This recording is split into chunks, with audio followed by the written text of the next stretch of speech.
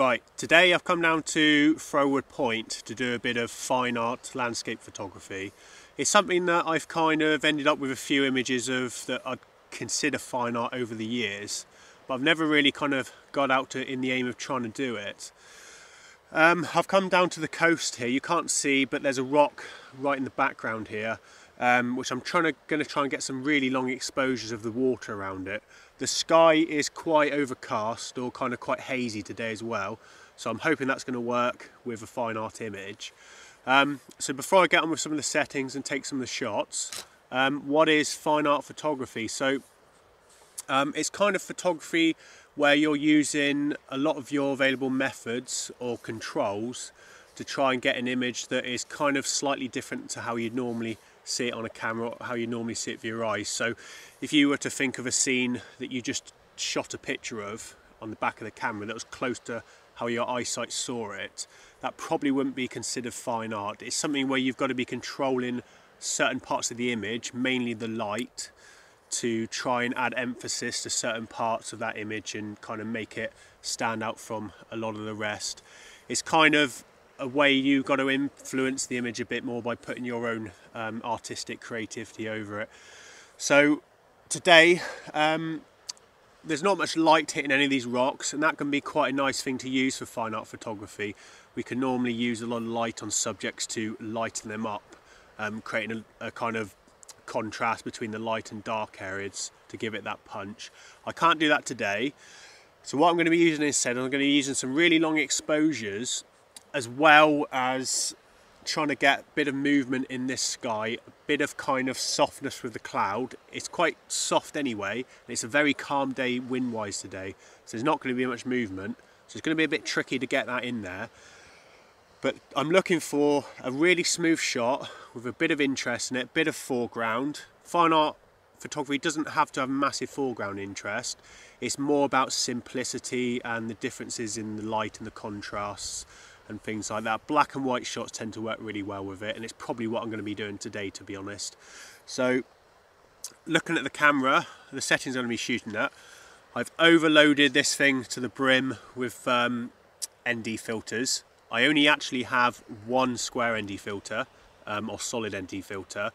I do have round ones I could stack as well on top but it's going to be a bit annoying me having to do stacking and square filters and stuff like that. So what I've done is I've put the 10 stop Lee um, ND filter on.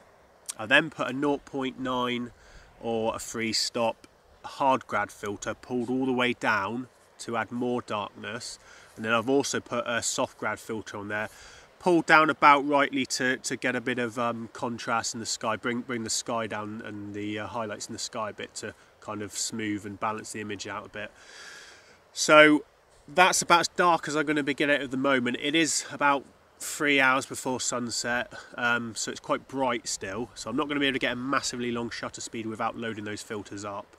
I'm shooting quite high in the f-stop as well. I'm shooting at an aperture of f18. It's a bit high really. I'll probably drop that down to f16 a bit later on, um, or as it starts getting a bit darker.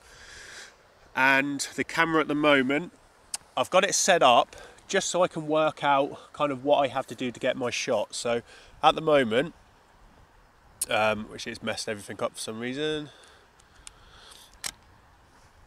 There you go, I've got it to redo the uh, exposure value now. Um, at the moment, I've got it set to an ISO of 400. That is giving me 30 seconds and ISO of f18.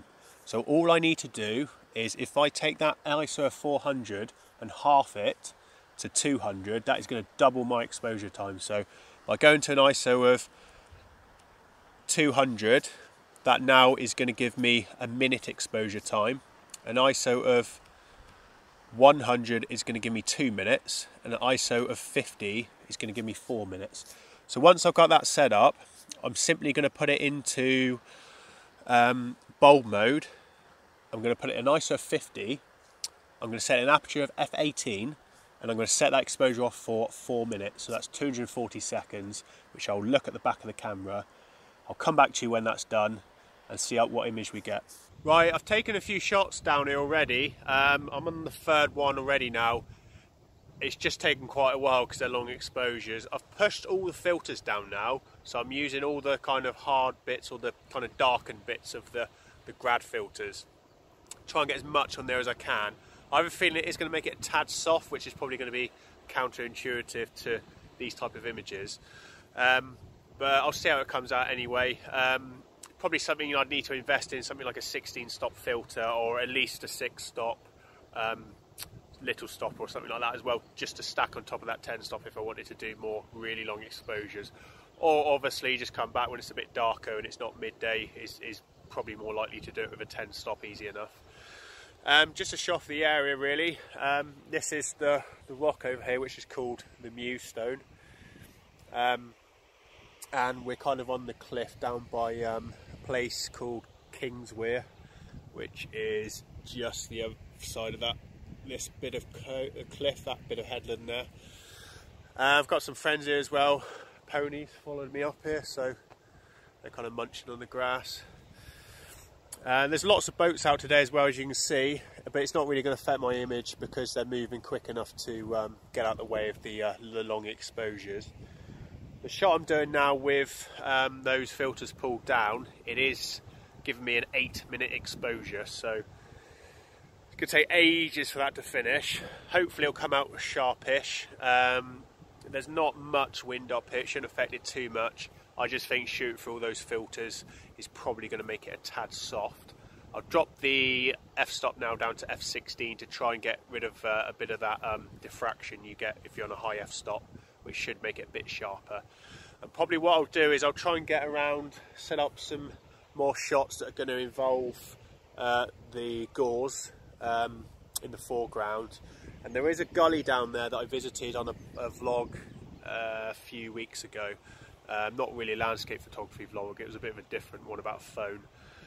So I might get that down there just to see what images I can get, see if uh, any fine art stuff will work down there, any black and white images and stuff like that, long exposures again.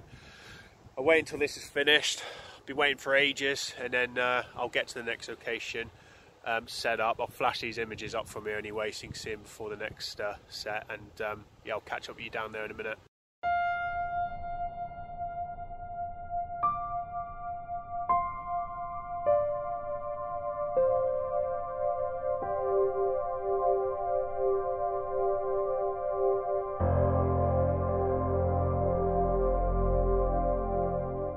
Right, I've got down to another location now, the um, gully type of thing I was talking about before.